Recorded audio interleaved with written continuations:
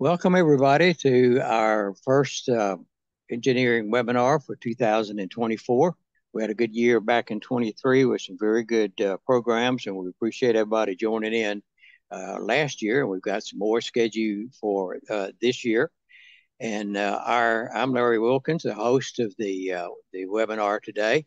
And normally the um, normally our co-host is with us, uh, John George, but he's down in sunny Florida. Although he did tell me this morning it's pouring down rain, and he's at a transmitter site installing a new transmitter, and he was going to try to join us, but uh, the electricians are in there beating and banging around in the transmitter. And he said I was going to get outside, but he said it's pouring down rain. I said, well, at least that's not as bad as it is up up here. So, uh, want to welcome everybody to our to our webinar. The webinar, as most of you know, is underwritten by the Max uh, Connect Group. This is a full service broadcast service uh, uh, company. They sell and service equipment for radio stations, everything from microphones to the antenna. And they have a full service department that if you have problems, they can come in and and uh, fix it for you or work on it for you. And then they also have a department that will actually do turnkey. If you're building a new facility, then you can contact uh, Max Connect Group. There you see the website on the web on the uh, slide www.maxconnect. And notice the spelling; it's sort of weird. MaxConnect.com. And uh, Josh Bond is the the head of that operation, and you can talk to him about it. Our program today, I think, is going to be a very good one because every radio and every television station has at least one or multiple wireless systems, microphones, in-ear, IFB systems.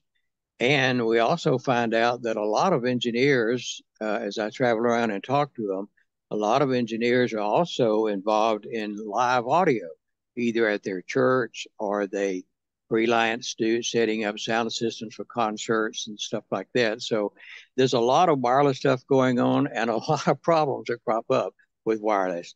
We're very happy to have with us today uh, Don Boomer. He's with RF Venues, uh, based out of Boston, I think he said. And uh, Don's over in uh, in California this morning and uh, drinking his first cup of coffee. And Don, welcome to the program.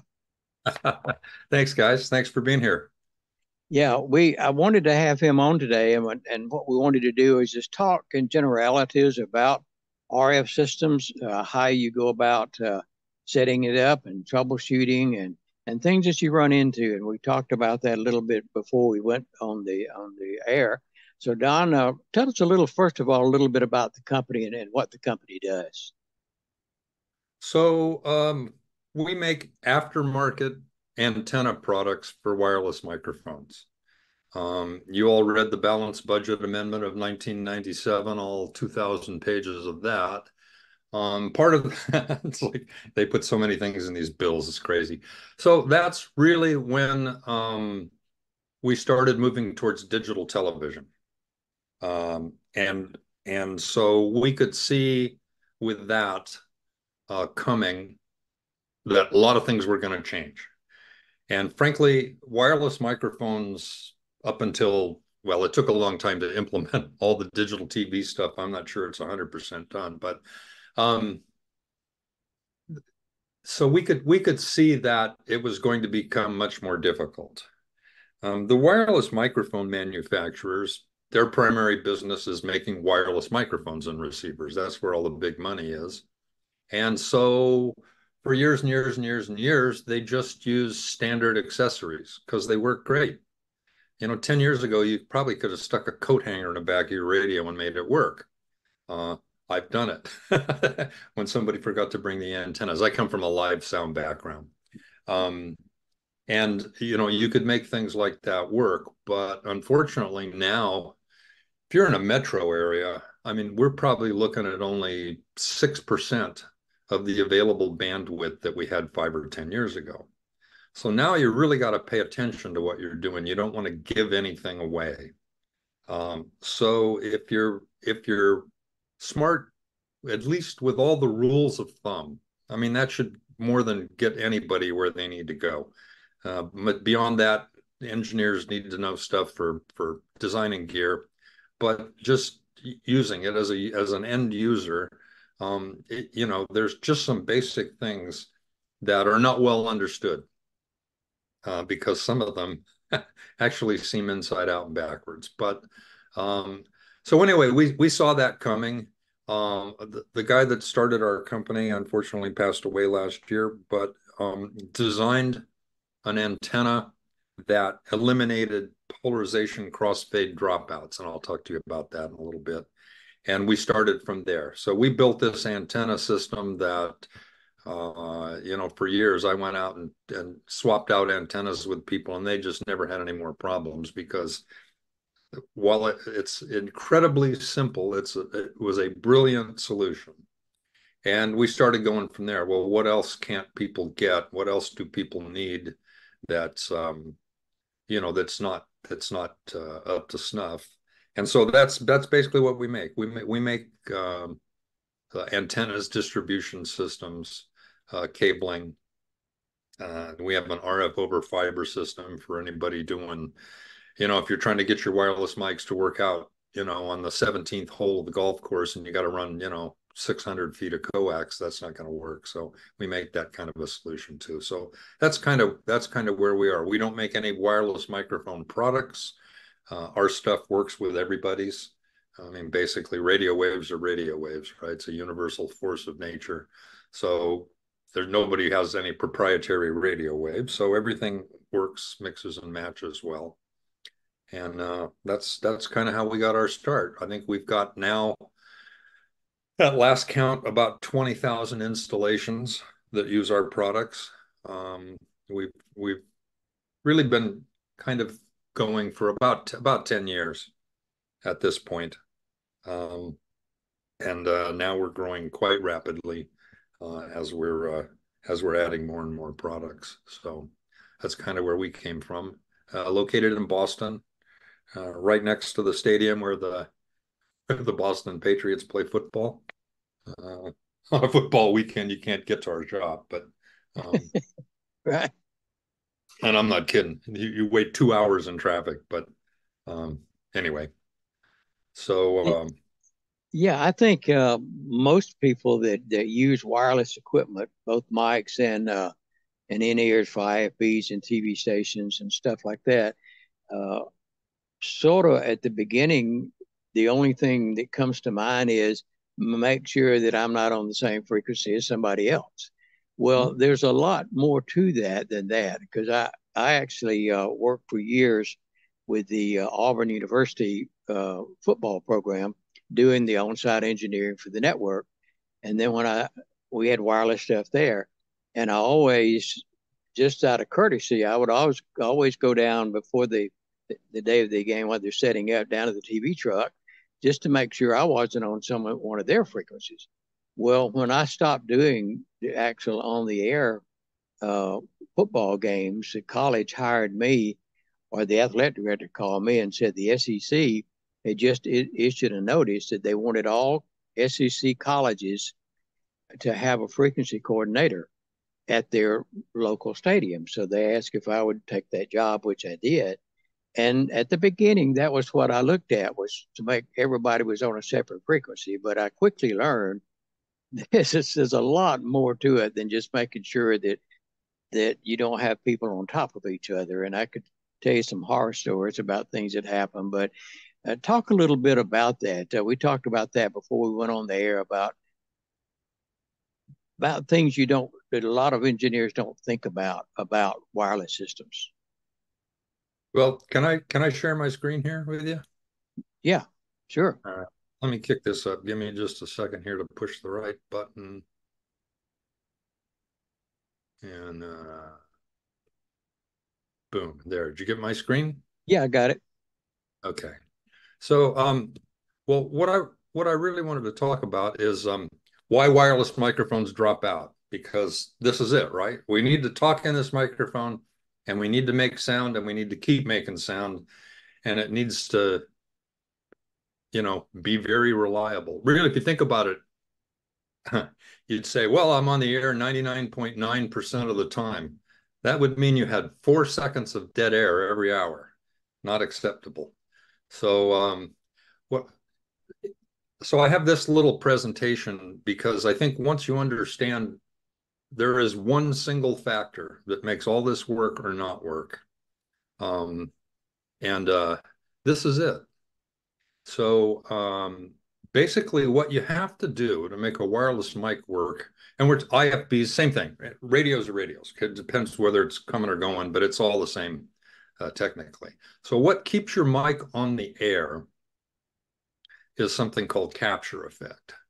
And so when you can get the signal from your transmitter through the air into your antenna, down the coax, into the electronics, down into the receiver, when that signal gets there and it's 20 dB above the noise floor, your radio locks to that signal. And that's the only signal it sees. It disregards all the rest. Below that, your antenna is literally picking up every radio that's turned on on the planet of every frequency. Now, most of it's extremely low, but everything's going in there, right? Because antennas have no distance limit, right? We're still picking up Voyager 1 that's 900 million miles past Pluto, however many miles Pluto away is. Um, and that's still, that little tiny radio is still transmitting back to Earth. So there's no limit on the antenna, what happens is as, as the antenna gets weaker, you're getting closer to the noise. And when you get too close to the noise, when you when you can't lock this margin in, uh, your radio doesn't lock anymore. So uh, let's see here. So uh, these are typically the things that cause your radio to drop out. You get out of range. Your antennas aren't polarized or focused aimed, or you're getting too many multi-path reflections, cancellations. If you're old enough to remember analog TV, we used to call them ghosts, right? Get the rabbit ears out, hold them up, put the tinfoil on it. Okay, that's what you were doing. You were trying to deal with multi-path. So range um, is probably the one everybody thinks they know the most, but it's not distance. It's distance that's usable. So interference gets in our way, just like in this picture you know you can't see through the smoke. You got to have a clear a clear um, shot. Uh, so um, what you're what you're really looking at here is something that looks kind of like this. Um, there's a noise floor. So we're, we're going to talk about 470 to 608 there's some other spots available but basically this is where we're using wireless mics. Uh, and all the principles hold but it's just you know, other than call out all these little little exceptions. We'll just talk about this. So if we look at this range, we have a noise floor. We have a noise floor. It's present everywhere on Earth. It is caused by every radio that's turned on. It's caused by every electric motor that's turned on. It's caused by every computer chip. Um, you know, it's caused by what do they call that? Microwave background radiation left over from the Big Bang. I mean, there's stuff coming from outer space and all this stuff, and it should be very, very, very low. But there is a an amount of RF present wherever you are in any venue. The thing that's happened recently in the last few years, um, down at the low end of the band, is we are getting interference frequently from LED operated things, particularly video monitors, um, LED stage lighting, you get a little below that, you, have got security radios and stuff for you guys that are out on location. Um, and and what happens is these these other things mix with our wireless mics. That's why you were saying even if you're just using it, you know, uh, making sure you're not stepping on somebody else's frequency. Their other frequency, even if you're not stepping on them, is mixing and creating additional noise. At the top of the band, about from the middle of the band up, we now have interference from 5G cell phones, uh, T-Mobile, the pink lightning bolts, right? Those are mixing and adding extra noise. And then, of course, there's over-the-air television, uh, which you're not going to compete with because they've got 500 kilowatts and you've got milliwatts. So um, you can't use those. So in this drawing, the the microphones you see the ones that are above that line and of course that's an approximation it's it would be much more jagged than that but if you're above that 20 dB threshold above the the noise floor and I'm not counting the TV stations those mics should lock and be rock solid. They're not going to go anywhere. As you get very close to that or below that level, those microphones might not work at all, might work perfectly, but most likely they'll be ratty. You'll get little little momentary dropouts. So um, we have we have a well, so we're talking about dynamic range. So we could increase the broadcast power of the transmitter, but the FCC limits that so we don't step all over everybody else. Or what we can do is try to reduce the noise floor. And that's really the tool that we have at, at, uh, at our disposal. We have this um, calculator. So engineers do a thing, we do what's called a link budget, and we can add up, you're basically adding up all the gain and then subtracting all the loss between your transmitter and your receiver to make sure that you have at least 20 dB of signal when you get there. Um, we have this little tool on our website, free to use. We don't collect any information. You don't have to register, nothing. So if you go to our website, rfvenue.com, on the top of every page, there's a, uh, a button that says uh, tools. And if you click on that, there's a couple of couple of tools that we've got you can use. Um, this one, the, the wireless, wireless performance calculator, you simply go to those drop down boxes and tell us what you've got. Tell me what kind of mic you got, what brand it is. Tell me, you know, some distances, how long your coax cables are, what your antenna looks like, blah, blah, blah. You get to the bottom and you hit that calculate button. And if you get a green light, that means you have more than 20 dB of signal that will get to that uh, receiver. Now, you still have to find an open frequency, but that means you have enough power available. Now you got to just put it in a spot where you got an open frequency.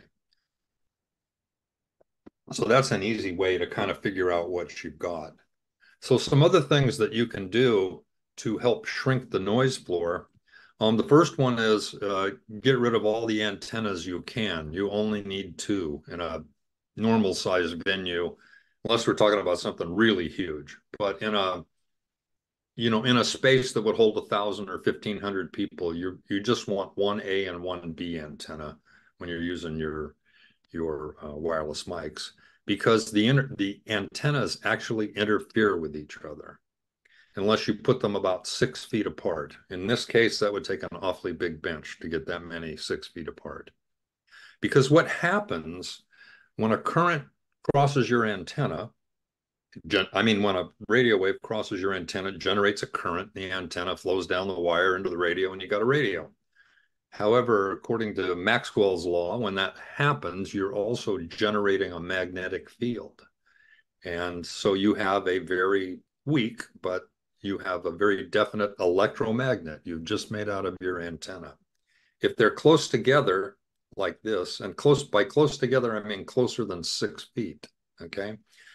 At that point, that magnetic field can jump from one antenna into the other uh, where it will just be noise in that other antenna. So you've actually raised the noise floor. We don't want to do that. So we need to keep our antennas separated. Also, when you get a bunch of antennas that are haphazardly placed together, you create arrays. Now we can design, we can do that purposely. We do all the math, and that's how we make paddle antennas and things like that, or just multi elements. But they're very well calculated uh, to give us a smooth result. So just like when you stack speakers together, you know about line array speakers, when you stack antennas together, you get an array. If you haven't done it the right way, what you end up with is is hot and cold spots. That's the easiest way to put it. So across your stage, you, you're going to be have a solid thing, and then the actor's going to drop in a hole, and you're solid, and who knows what, who knows what it's going to be. It's be very hard to calculate. Um, another thing for you guys maybe that are ham radio, you, you know about VSWR, reflected power, but most people aren't aware. When you're just using a wireless microphone, that signal travels through the air, uh, goes into the antenna down into the receiver, but the receiver kicks part of it back out the antenna. So you're at, that antenna is actually transmitting at the same time it's receiving. It's it's bounced back out. And again, if you've got other antennas that are very close to that, now it's screaming in the other antenna's ear, so to speak, raising the noise floor. So we don't want to do that. So the simple thing is you want to use a distro. A distro allows you to use a pair of antennas. You want an A and a B antenna for diversity. And then um, these are some distros we make. Uh, and then you can power multiple receivers. You can make really big systems if you want. Um, and uh, but this is so this is going to eliminate the antenna interference by using this distro. Uh, we this one that we make this distro nine at the bottom. This is um this is actually the the best quality uh, multicolor multi-coupler distro you can buy on the market because it has um an enormous amount of headroom, about 20 dB more than anything else. Because another thing that happens, like you were saying, even though you got a clear frequency, somebody else is around you. When you put two radios together, or multiple radios, I should say, you create intermodulation distortion. Those two, based on the frequencies of your two, of your two radios, let's just talk about two, um, the transmit power and the proximity to each other. So as they get closer together, it gets worse. When Romeo and Juliet are singing the love ballad and their microphones are six inches apart, they're going to create an enormous amount of other spikes. And those other spikes, if you've got other radios or IFBs going, could knock those off the air. Now, when Romeo and Juliet let go of each other and they move farther apart, those spikes go down, but they've moved closer to somebody else, so some other spikes go up. So this gets to the point. This is why we use frequency coordination software. So we can calculate exactly what frequencies will interfere the least with each other. It's very predictable. But at the point that you've got eight radios, there's literally 42,000 of these points that I can calculate. Most of them are extremely low. But again, as people walk around, some of them are going to be hot, some of them are going to poke up their heads, and then some are going to dip down. So you can you kind of need to know where all these are so that you can uh, you can uh, avoid avoid interference. So that uh, that distro nine that we have, the trick to that is we have a we invented a divide by three circuit. Everybody else does divide by two. It just means you got to go through more electronics and more electronics. Obviously, no piece of electronic gear is perfect. They've all got a little distortion, a little noise. So going through fewer electronics is a better way to do it. Because what happens, radios are notoriously nonlinear. Not, you know, maybe your hi-fi equipment, it has an intermodulation distortion figure that's probably 0.01% at full power. Well, radios go to hell at about a third power. It gets it gets crushed down. Whoops and that that waveform gets compressed and when it gets compressed you're generating these harmonics so we want to avoid we want to avoid um, intermodulation by using a, a frequency coordination program uh, there's lots of them on the market lots of free ones we have a free one on our website um, uh, and you know that's going to lower the noise floor you know a little bit, a dB here, a dB there can make a big difference because we're shooting for 20. Now, on a good day, you might get 30, you might get 35. And if you do, you can make lots of mistakes. You can make mistakes all the way down till you cross that threshold at about 20. And it's not an exact number, it depends on some things. So there's a little bit of a fudge factor built into that.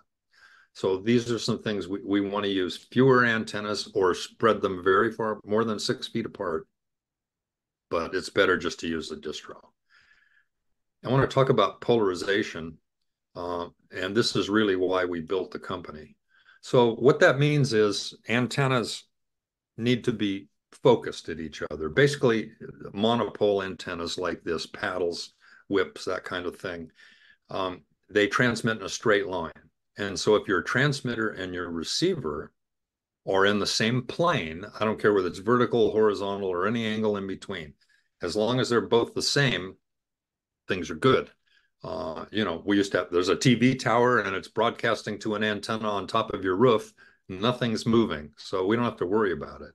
But with wireless mics, what we have to worry about is things are moving. And so as people bend and twist, if your antenna isn't moving with them, it's constantly uh, losing signal. So let me show you. I built a little dipole antenna, just two pieces of wire calculated at the frequency of this little walkie-talkie with an LED in the middle. And you can see when the transmit antenna and the receive antennas are in the same plane, I got enough level in that antenna to light the light. But if I turn it sideways and key it, it won't light. It's not getting enough signal. So um, again, it doesn't matter if it's upside down, as long as they're in the same plane, right? So, so you've got zero to 90 degrees four times in 360. So you have to pay attention that your antennas line up. Otherwise, you start losing lots of signal. So just the easiest way to illustrate this, if, if you consider a handheld mic and we hold it vertically, and you had your, your two antennas for your diversity, and they're both um, uh, likewise, they're both vertical. At this point, you would have no loss. Um, uh, your antenna would be able to capture as much signal out of the air as your receiver was capable of doing. Obviously, $3,000 radios do it better than $300 radios, but each one of them would be operating at its uh, at its best. If you turn your transmitter 45 degrees, you'll lose 3 dB of signal in each one of these antennas. That's almost never a problem. Uh, but if you manage to turn your transmitter all the way horizontal, you would lose over 20 dB of signal in both these antennas at the same time, and you're most certainly off the air. So that means your your when you have this situation, your receiver is seeing less than 1% of the power that was transmitted when that when that uh, uh, transmitter was uh, lined up. So this is this is why we got in business. Uh, we invented this diversity series antennas that have both a vertical and a horizontal element to them. So you have you're picking up in 90 degrees in both ways. Uh, that maybe some of you guys have used that one there on the left. That's the most popular one. That's a diversity fin. The one at the bottom is an omnidirectional version. If you have to cover a big field or something and things are coming at you from all over the place. Uh, the white square one is an install one that you guys won't be interested in. It's a flat version of that of that uh, that one on the left. But let me show you how this works because it works the same way. The physics are the physics.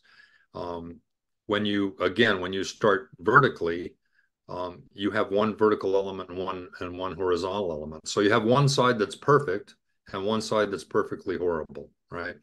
And diversity just switches to the better side. It ignores the other side. Again at 45 degrees i'm 45 degrees to both elements in that. But um, when i turn horizontal my former perfect antenna becomes perfectly horrible and my former bad antenna becomes perfect. So you now have added polarization diversity to the to the spatial diversity that your receiver has. So you will have eliminated dropouts. Let me show you. We did a little field test here during COVID. I got a pair of paddles and uh, set them up six feet apart like they should be, ran them to one receiver, and I used our diversity fin and ran it to another receiver. And I tuned them both to the same channel so we could hit them with a single transmitter. So we got our lab assistant, actually our golden retriever assistant. This is Peg. And we put the transmitter on Peg. And then we got our random pattern generator, also known as a Frisbee. And we played catch with the dog out in the field for half an hour, right? The dog's going left, right, up, down, every way we could go. And at the end of 30 minutes of the dog chasing the Frisbee, the side with the two paddles had dropped out nine times. Uh, the diversity fin didn't drop out and won't drop out. This is an antenna that provided you have line of sight, that's the only qualifier, this antenna will never lose the signal. Uh, what happened on the other side is both sides went bad at the same time. Um, let me show you one other element of this. So multipath is a polarization thing, but most people separate it out. So again, this antenna switches uh, based on, you can see moving the transmitter and you can see it go back and forth between A and B. And of course it better do what I just said it would do because you're only two feet away and nobody operates like that, nor should you. But when you when you're out in the real world, even though he's holding that transmitter nearly perfectly uh, vertically, you see the A and the B is jumping on the receiver.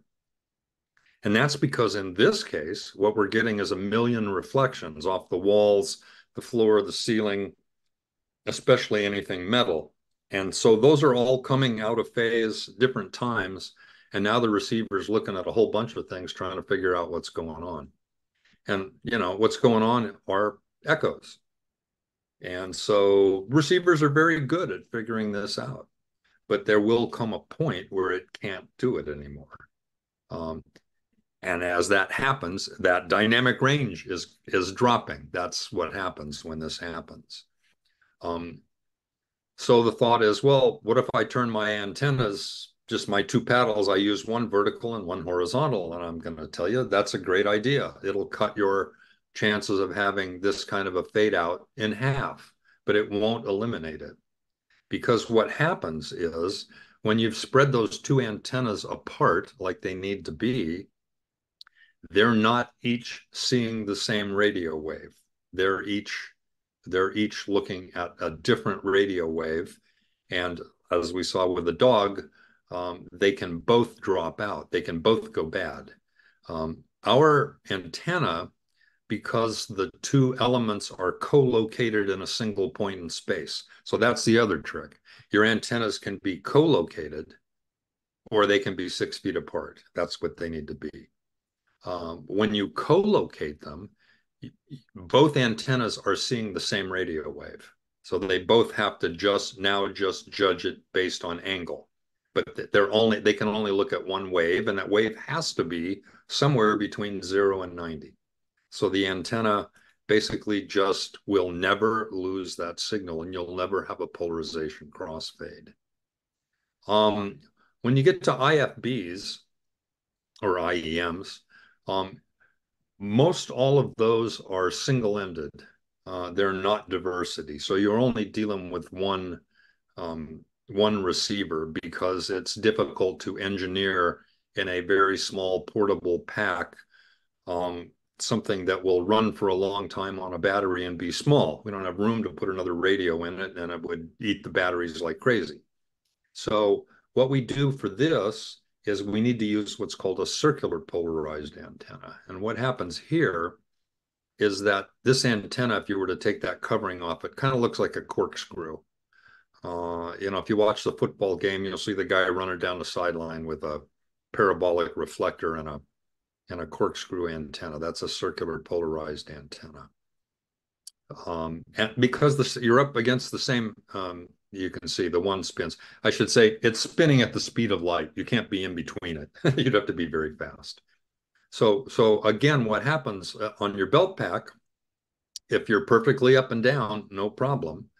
As you begin to bend and twist, you begin to lose signal. And if you get all the way um, horizontal, again, now you only have one side and that signal has become nearly nothing, right? So as people bend and twist, their um, ability to pick up the transmitter is constantly varying. And what happens with these, um, most most of the IFBs are are analog because we don't want to deal with the latency. And what happens with those radios, the quality of the audio is directly proportional to, to the quality of the of the, the radio signal it's receiving. So well before it drops out, you start getting noise, you start getting birdies, you know, you get junk um, before it it completely goes off the air. Just the fidelity starts getting crazy. So simply using a circular polarized antenna um, takes care of that problem. You no longer have it. You again, you don't lose. Uh, you you won't get polarization crossfades. So we make these combiners. So uh, again, this is very simple. You, you plug four transmitters into the one or eight into the other. It resolves it all down to a single antenna that you can then send out. It's plug and play. You don't have to do anything. You just plug transmitters in out to the antenna. So now you can use a single antenna. We can cut down the number of antennas again, um, and that takes care of that.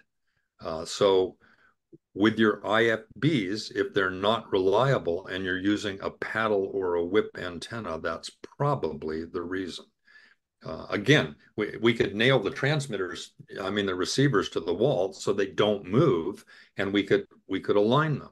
But these things are moving around, and people are sitting and standing and bending and twisting, and their ability to pick up the signal is going up and down and up and down. So like it's mostly in 20, but then it dips and then it goes up and you know it's it's just changing. So we need to smooth that out um, and keep it above that uh, above that level.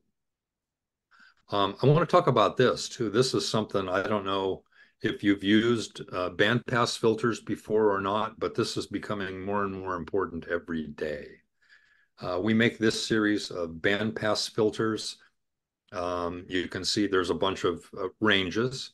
Basically, what this does is this blocks RF below and above this number. So use these on your wireless mics now. You, use these with the receivers. To use them with IFBs, you would have to put one on each IFB, receiver, which would be bulky and expensive. So uh, you don't have to worry about IFBs because you're transmitting a single signal. But when you're receiving, you're you're grabbing everything from the universe coming into that antenna. So um, if you if you travel a lot, uh, this new one that we have at the bottom, 470 to 608, basically works anywhere in North America. You don't have to worry about what gear you have. Uh, if you travel a lot, uh, and you know, depending on what blocks your your gear is in, uh, you know, you get off the bus and it may not work in some cities and it works in other cities just because you know, basically where the TV stations are. So I want to show you. Um, I did this sweep. Um, uh, I was in Las Vegas at a convention, and um, this is so where we can tune the wireless mics to is um, where the green is. There's see there's a little spot up high that that you guys can use too.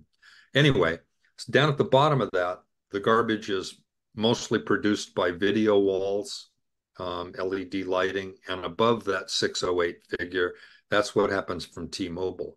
So when we put the bandpass filters in, look what happens. The dark green right about here that's noise floor. And we have, in this particular case, and I got to tell you, this one amazed me, and I'll probably never see it again. I dropped the noise floor over 15 dB. Remember, we're trying to hit 20. That's the thing we got to do. If you only remember one thing from well, everything I say today, that hitting that 20 dB of dynamic range so that you lock up your receiver, that's the thing you got to do. So by dropping the noise floor, I would say using those filters probably is going to get most people four to six dB. Um, uh, normally, it depends where you are. You know, obviously on top of a mountain in Idaho is different than in the middle of Times Square, right? So we're always every time we use wireless, it's essentially un a unique situation because everything will have changed you don't have to go very far to make it change and somebody's brought new gear and you got to keep up with all that. So that's what we're kind of trying to to work around. So using these bandpass filters our bandpass fil- other people make bandpass filters. For you guys with Lectro equipment they make bandpass filters that are very narrow and they go block by block by block by block. So you have to have a set for every block that you use. But their filters don't roll off very quickly they're only second order filters. So, so the slopes are, are rather slow. Our filters are um, sixth order filters and they, you know, you can't build a brick wall filter, but these work pretty quick. You have to really chop off the top to keep that T-Mobile out. And uh, so, you know, what happens is if you're in a situation where there's a lot of people around and they got cell phones in their pockets, undoubtedly they have um, you know, somebody's got T-Mobile phones, and that mixes with your wireless mics and raises the noise floor. So if we can block those at the antenna level from coming in and getting to your receivers, uh, you greatly enhance your chances of staying on the air. Um, and these are just, they're passive, they're just plug and play. Doesn't matter what direction you plug them in. You just put this from your antenna going into your distro or going into your receiver. If you do it into a receiver, you need one for the A side, one for the B side, and then it covers all your mics. You got two mics or 200 mics, it covers all of them. So that's uh, that's a very simplified thing. Um, I talked about this a little. Maybe everybody wasn't on the air yet, but um, there's no problem mixing gear. Uh, you don't have to match logos, right? We all use Uh, as far as the antenna systems go, we use electromagnetic waves that are a force of nature. You know, they're the same everywhere in the universe. So you can mix and match brands to your heart's content uh, as long as the frequent you got the right frequency bands. Um, and the FCC makes it pretty difficult for that not to happen. So you never have to worry about about mixing any brands of anything together, just in case. Uh, I get people ask. I also get people ask. I'll just throw it in here. Don't my antenna leads need to be the same length? And the answer is no. Uh, if you have one really long one and one really short one, you're going to get a stronger signal on the short side compared to the long side because there's loss in the cable. But there's no problem doing that. In fact, sometimes we do that on purpose because it might make sense. So you've still got signal on both sides. The the fact that they're not symmetrical isn't screwing anything up. You will just have a hotter side and a and a less hot side. Uh, so I think that um, basically covers what I wanted to talk about. Um, and as long as you as long as you remember that that that capture ratio, that's the thing we have to do. So everything that we we don't point our antennas. Larry gave me a whole list of questions here, and all of them are answered back to that that that 20 dB that capture ratio at the top. So anything you do that subtracts from that is beginning to be a problem. And uh, like I said, we're we're basically dealing with a straw that breaks the camel's back kind of situation. You have a lot of little straws. None of them by themselves are particularly important until you add that one last straw that gets you below that 20 dB threshold. So all these things that we can do to lower the noise floor and, and increase that uh, just work in our favor. Now, sometimes there's going to be situations that are going to be extremely difficult. Um, you know, working in the middle of Times Square, you got to put 60 microphones on in Times Square. Well, I worked I worked with the guys at the Super Bowl about six years ago, and uh, the, with the coordinators, uh, and they use every brand of everything that they can get their hands on. Uh, I was making a digital radio that uh, that they needed to use. I asked them how many holes they needed to fill on game day, you ready for this? 3,000. They got a 3,000 requests for radios. I would just shoot myself and get it over with. There's three guys spend about three weeks trying to plan that. And of course, you know, you get your time and your frequency from 315, you know, to 327, and you're gone and somebody else gets it. But they've got to coordinate. And that's not all just microphones. I mean, they have they count the number of hot dogs they sell wirelessly and ticket taking and all this stuff. And they got stages outside the stadium. They got all these things going at the same time. But that's an awful lot of radios to coordinate. And uh, frankly, I don't know how they do it. Scare the hell out of me. Yeah, it, it does that. Uh, as I said, I, I, worked as a frequency coordinator there at the Auburn University Stadium, and, and we mm-hmm. ran into that where uh, supposedly everybody was supposed to clear with me before they came in, but sometimes they do and sometimes they don't. There was one particular case I remember that uh, very vividly is I always went over the day before and got with the TV trucks and got all that squared away. But I came in on a Saturday morning and I looked on the sideline and there was some risers down there and like six wireless mics on stands. I said, mm-hmm. "What the heck is that?" So I go down there and uh, the guy that was down there said, "What is all this?" He said, "Oh, it, the, the choir, the the uh, Auburn Chorale is going to sing, and they're going to do all this kind of stuff." I said, "You you didn't coordinate these frequencies." I said, "What frequency are they on?"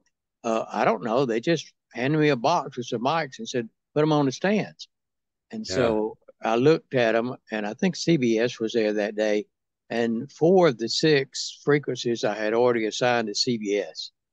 And I asked, I told him, I said, you're going to have to change four of these. He said, I don't know how to do that. Oh, they just showed me how to turn it on. so coordination is really critical. And because you talked about the 3000 and I thought, I thought uh, the, the 100, I would normally get, uh, I forgot the name of the company that coordinates the stuff for the trucks, uh, CP Communications, that's who it is. And I mm-hmm. used to get a, uh, email from them on Sunday for next Saturday's game. And typically, ESPN or ABC, whoever's coming in, will request maybe 70 75 different frequencies for all their stuff. That includes backup. And so I mm-hmm. could sort of get those all squared away. And then everybody else, I had places to put them. Uh, so coordination is a real big thing. And I, I think in NFL, if you don't if you don't check in ahead of time with the coordinator, sometimes they will actually escort you out of the stadium. They're they're pretty they're pretty strict on their coordination, I think. Yeah, they have people that walk through the stands and are, are measuring all the time. And you know what happens is uh, a lot of times if they get um if they have a like a foreign star on the team or something, all of a sudden, you know, they they'll send a you know a news crew from some third world country to cover this guy and they got who knows what for equipment.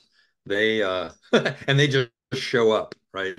They don't even let you know. And all of a sudden they turn on all this stuff and your coordination goes crazy um, because yeah, they do, and that's that's that's the biggest danger. That's when things go to hell because uh, you have no time to fix this, and you need to. You're live. You're going. So you you want to fix that up.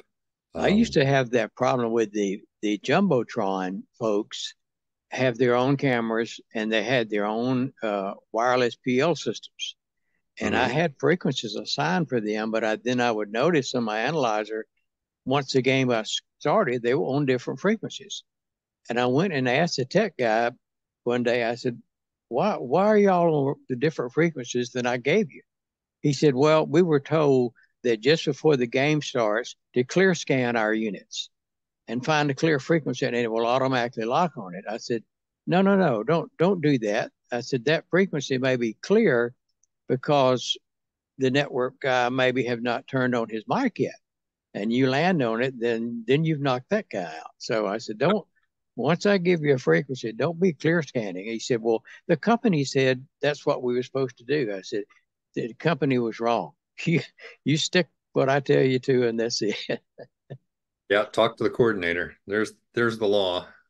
Yeah, let's talk in the in the few minutes we got uh, left here. Uh, some scenarios, and let's talk about TV, for example, in a news set where you would have several wireless mics and several IFBs.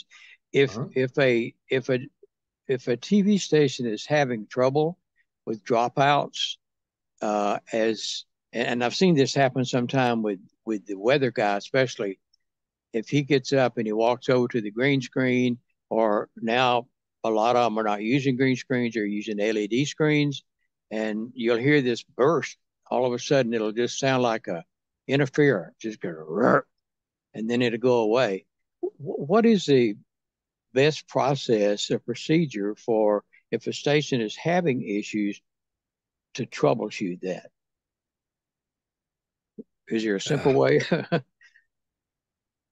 no, I mean you you have to go down the the basic troubleshooting schemes. I mean, in that particular case, it's because some some transmitter for a short spike sent sent a signal and you got it and it was it dropped you below that 20 and until that comes back one of the things you want to watch um, probably doesn't happen too much uh, when you when you do things ahead of time but i have problems a lot of times people will put their transmitters their belt pack transmitters they put them in their pockets.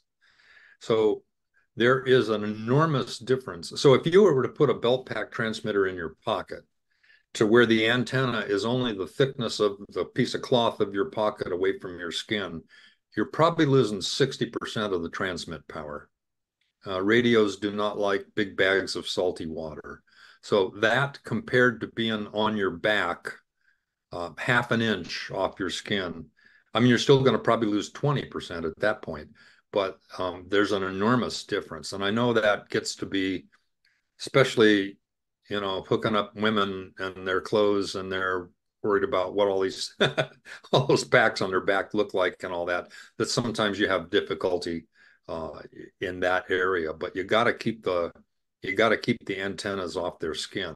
Because again if you lose if you lose all that power transmitting your dynamic range is falling down. So when you hold that if that's why wireless mic sticks generally work much better. I i generally just rule of thumb, consider them about six dB hotter than a belt pack next to your body.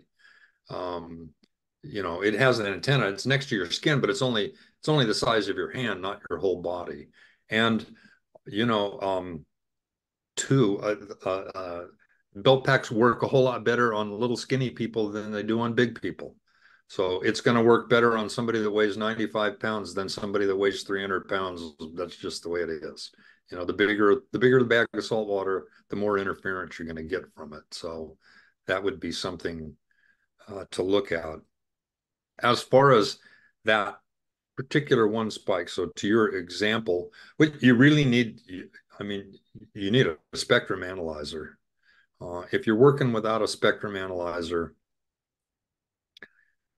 we used to be able to do that. I used to be able to guess really good because it was easy because I had so much bandwidth. You know, I, I could couldn't miss. Just throw a dart and you could you hit the bullseye every time. Uh, now there's very little space left, and you have to really do find those open spaces, and then you have to coordinate. You have to use a coordination program um, to to to uh, tune all your radios. Otherwise, they step on each other. And again, when the guy walks over, that's it's different than when he walks back to the desk because he's now moved 10 or 12 feet. And while that doesn't seem like much for a microphone, for a radio, when you're dealing with a wavelength that's six inches long, uh, you know, you flip phase 10 times in that distance and all kinds of things can happen. So, um, yeah, you, you really need to get a spectrum analyzer. You need to ah, like I was talking about with the LED interference and the and the cell phone interference, we recommend that you scan about 50 megahertz above and below what frequencies you're ever going to use, right? So if you're if you're using if you're only using Lectro block 21, whatever that frequency is, do about 50 megahertz on either side of that. If your stuff is scattered throughout the band, or you're setting up a new studio, we work with that a lot where it could be anywhere from 470 to 608 you know you you should scan you know 420 430 on the bottom up to 650 660 because these um, frequency coordination programs only work based on the data you give them. So if you if you scan with a receiver that won't look you know much beyond its own block the program assumes that everything else above and below that is zero, and it's not. It never is. So if you give it more information, I talked to the engineers at Shure that do wireless workbench, I'm sure a lot of you use that. Um, and I asked him, I said, if I give it data that's, you know, out of the band I'm trying to use, but there, he says, oh yeah, you'll get a better coordination. So the better, the better scan you can give it, the better probably. I mean, I might not be sometimes, but I would count on it, you know, nine out of 10 times or 99 out of 100 times being better with the scan that is, that takes into account as much out of band information as you can give it. You, you mentioned setting up a new facility and all, and that's that's a good question. If some if you're building a new facility, and, and again, I'm maybe talking about a TV news set, uh, mm-hmm. What are some of the good guidelines of antenna placement? How, how would you go about placing and not only the the ones for the wireless mic, but also for the in ears? Is, is there so, sort of a way to do that? Well, so um, antennas have a pattern, um, and you just need so basically we deal with a horizontal. Uh, we're not worried about the vertical pattern unless you're doing the Royal Albert Hall that has four balconies or something. But um, so we look at the horizontal coverage. So a, a whip antenna is is omnidirectional in 360 horizontally. It's actually donut shaped. It's it's dead on above and below it. If you put a whip antenna up on a up on a truss or something and turn it sideways, so it's you need to turn it sideways so it's shooting down. If you have it straight up and down, it's really kind of dead, or at least it's it's attenuated above and below that. I mean, you put that, if you're using an Omni antenna, it's got to go in the middle of whatever it is you're trying to pick up. So that works well on a golf course. That works well on a, you know, a, a horse arena or something like that. But you probably want to use, my choice would always be to start with a directional antenna. like a paddle. They're generally 120 degrees wide. So if you use a paddle and you put it in the corner of a rectangular room, it'll flood that whole room. Everything that you have, um, everything that has direct line of sight. So, you know, just put your eyes where you plan to put that antenna and you need to be able to see all your transmitters. It's generally rule of thumb, human vision's about 120 degrees wide. So it's about the same as that paddle. So if you can see it, you're going to get to it. If you've blocked it, then you need to deal with that. You may need to add another antenna specifically for one area because you have a big set piece that may be blocking, you know, it's not an open room. Uh, that's that happens frequently.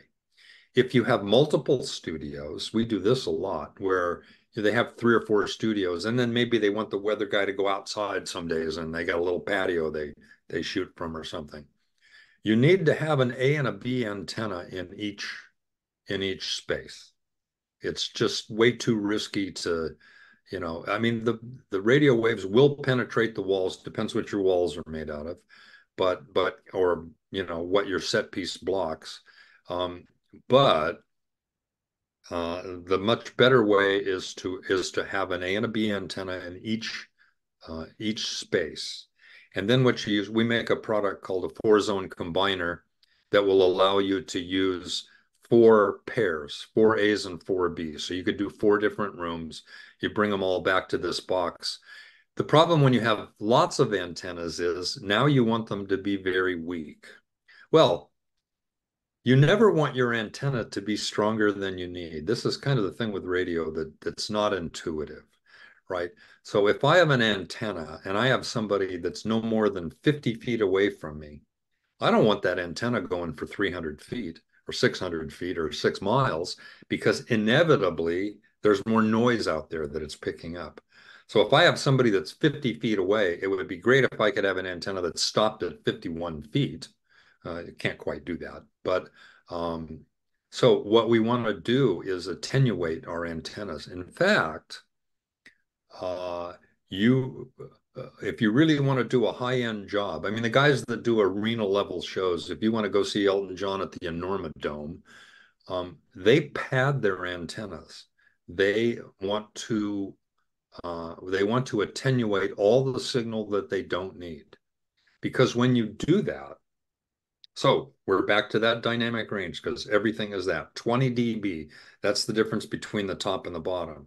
So if I pad that 6 dB, I move the signal level down 6 dB and I move the noise down 6 dB. But I've still got whatever range I have. I've just scaled it up or down. So that dynamic range is important to staying on the air. However, lowering that noise floor is important to the radio. So radios if you look up the specs, you'll see something called SINAD, and that basically tells you how sensitive a radio is. If I drop the noise floor with a 6 dB pad, I will have improved the sensitivity of that radio by 6 dB. I'm not really worried about the signal level. I mean, there's a point at which you would go off the air because you don't have sufficient signal level, but it's not the signal level, it's the dynamic range, right? So as long as we keep the dynamic range up, uh, actually not having enough signal isn't your problem. You have enough signal. The problem is you have too much noise mixed in with it. And it's a little different way to look at it, but that's really what you have to deal with.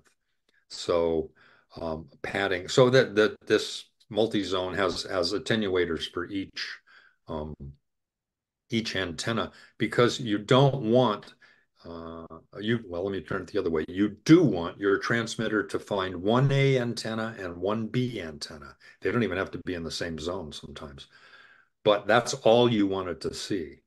So unless you have quite a bit of distance between those rooms, that will never be perfect.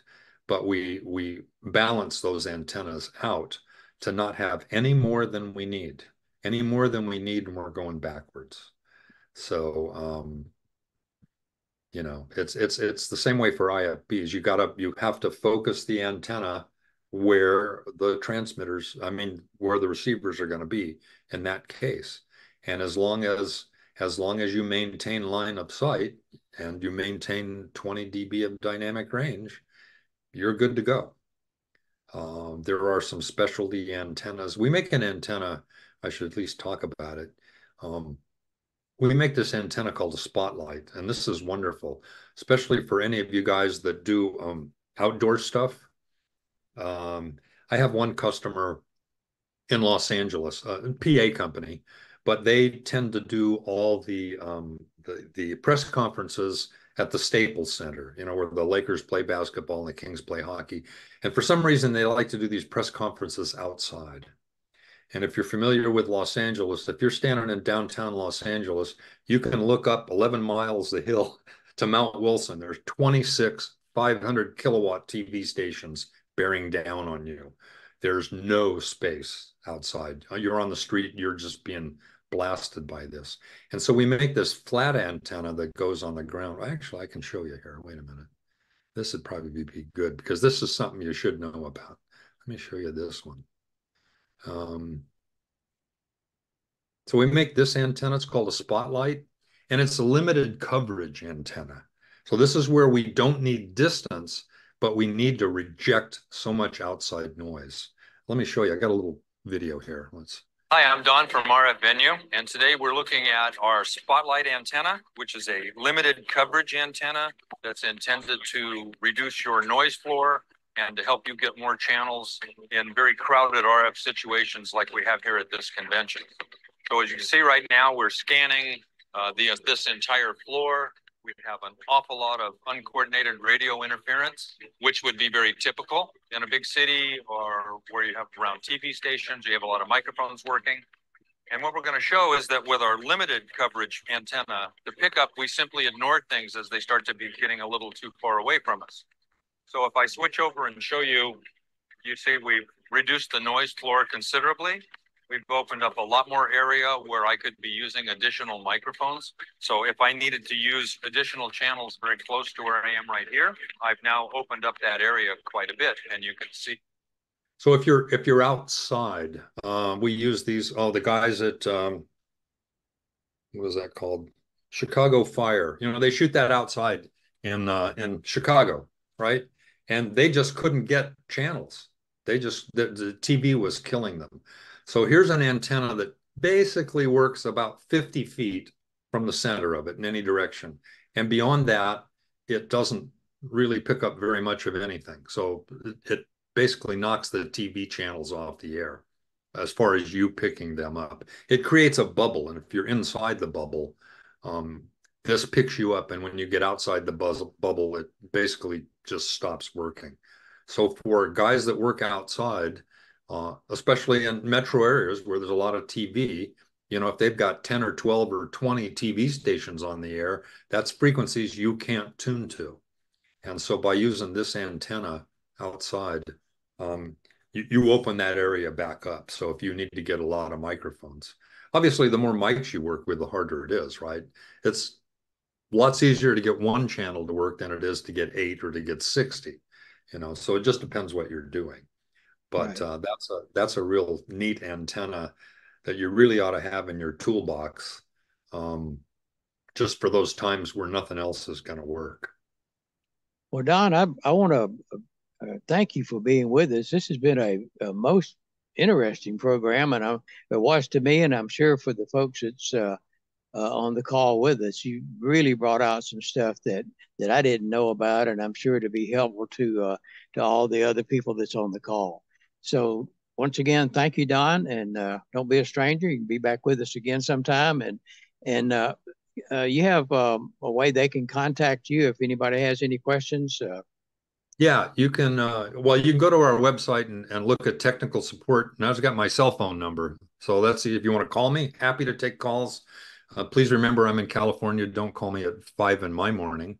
You get me in my bunny slippers, you're going to get a funny answer. But um, or my email is just don, D-O-N, at rfvenue.com.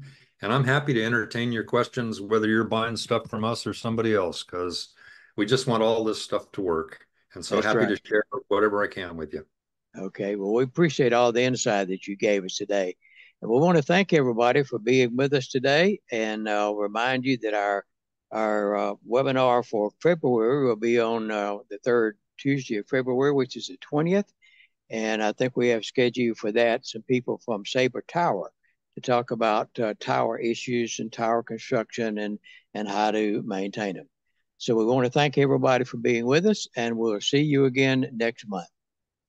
Thanks, guys.